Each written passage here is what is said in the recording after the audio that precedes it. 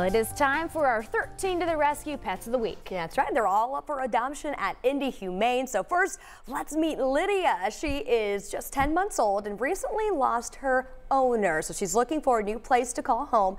She warms up to new people quickly and we're told she's great with kids. Lydia also loves other dogs.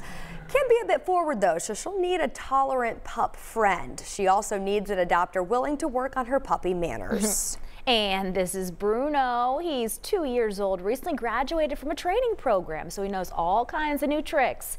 Bruno's foster family says he's had no accidents and loves hanging out with his human friends. He might be okay with another dog if they can meet first, but no cats, please. Bruno is very active, so he needs an adopter who is up for daily walks and long games of fetch.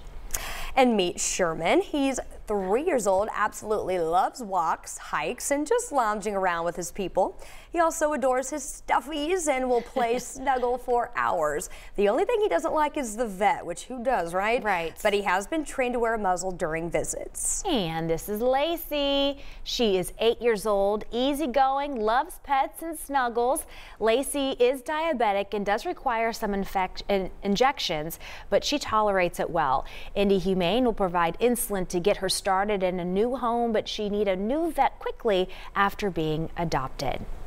Look at this cat. How pretty is this cat? I can't believe she's available. This lovely little lady is Freya. She's 10 years old and will need a little extra understanding as she settles into a new place. Freya would do best in a quiet, laid back home with patient adopters willing to give her some space.